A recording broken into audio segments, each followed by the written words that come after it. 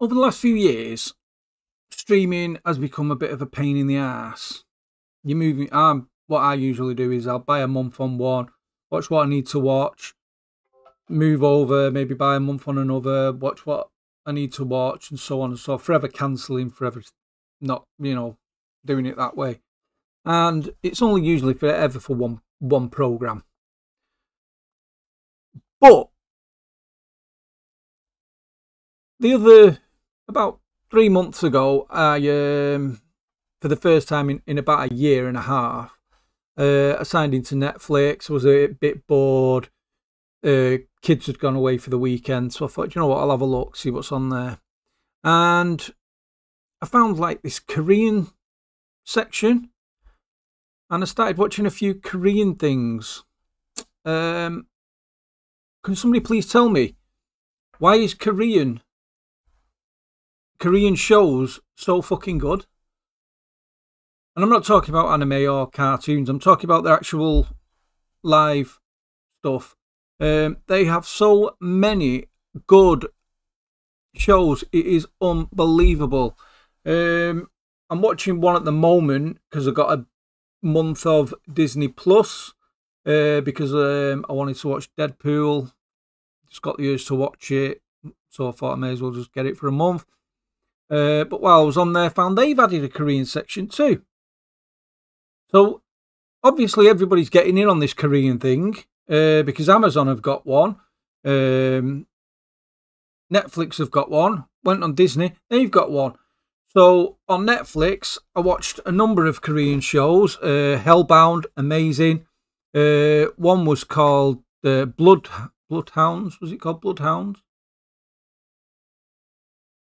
Yeah, I think it was called Bloodhounds. Absolutely amazing.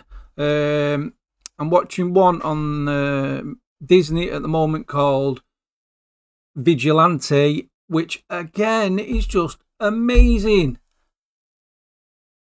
Why are these so amazing? But yet, what you'd call Western TV shows But your likes of your outliers like Reacher. Um, I tried watching that Mr. and Mrs. Smith on Amazon. That was horrendous. I had to turn that off. Couldn't get past. I, I just couldn't watch it. It was it was literally appalling. Um, My name that was amazing as well. Uh, I think that's on Netflix. Um, I can't tell you how you, if you're struggling to watch something, give the Korean thing a go. Give the Korean section a go because it is absolutely levels above what the Western TV studios are producing at the moment. Levels above. Stories amazing action amazing. Now, if if you can, you know, because you do get a lot of people that are a bit closed-minded and uh, can't deal with watching subtitles. Me, I prefer to listen to it in Korean and put the subtitles on in English. That's the way I, I, I just it gives it more of a, you know, it it it just comes across better. Um, because the faces match match what they're saying. You know what I mean? Their emotions carry across better than when you're listening listening to English dubs. Um, but my tip, this all this video is is just a tip. Go and watch some Korean shows because you will be absolutely amazed.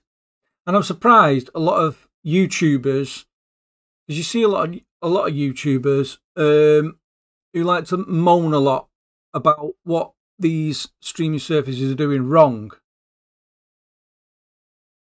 but they're doing this right. They get they're on a bandwagon. They have jumped on the bandwagon, all of them, and they're all seeing that people are watching Korean shows. Some people are watching Korean shows, and they're seeing how good they are, and they're banging them on the services. So give them a go because honestly, they're fantastic, and you will not regret it. So this is just a tip video to say go watch some Korean TV. Start with start with um, start with my no name, my name. Then maybe do uh, Bloodhounds. Um, I'm sure that's what it's called, Bloodhounds. I'm sure of it. Bloodhounds is a 10 out of 10. One of the best shows I've seen in a very, very, very long time. Go give it a go. Thanks for watching, and I will see you again in the next one.